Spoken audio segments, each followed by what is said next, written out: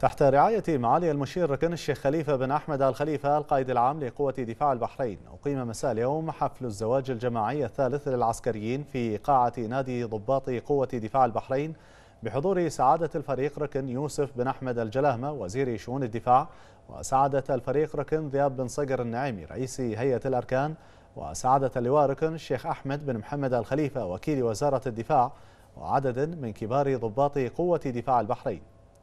بدأ الحفل بتلاوة آيات عطرة من الذكر الحكيم بعدها ألقيت قصيدة شعرية بهذه المناسبة.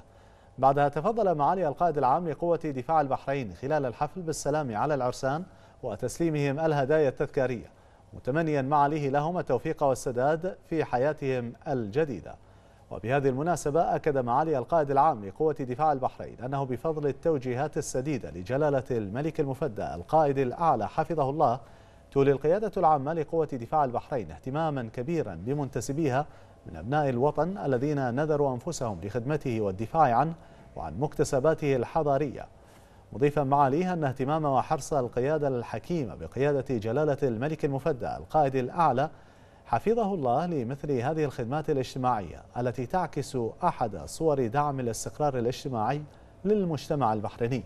ومشاركة المواطنين في أفراحهم ومناسباتهم المختلفة من منطلق شعور العائلة الواحدة التي تربط المجتمع البحريني ما يعزز دور الشراكة المجتمعية الذي وضعته القيادة العامة لقوة دفاع البحرين نصب أعينها لما لها من مردود إيجابي على منتسبي قوة الدفاع الذي يتمثل في بناء أسرة صالحة وتساهم بكل ما حباها الله تعالى من قدرات لخدمة هذا الوطن الغالي والذود عن حياضه وصون مكتسباته لتبقى راية مملكة البحرين خفاقة عالية.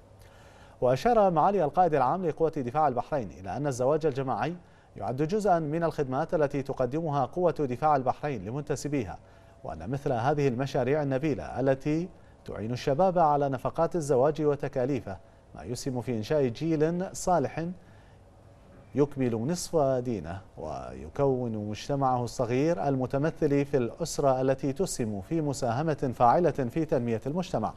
وتقوي أواصر الألفة والترابط فيما بينها وتدعم الأسس والقيم النبيلة التي يحث عليها ديننا الإسلامي الحنيف. وفي ختام الحفلة تم تقديم هدية تذكارية بهذه المناسبة إلى معالي القائد العام لقوة دفاع البحرين.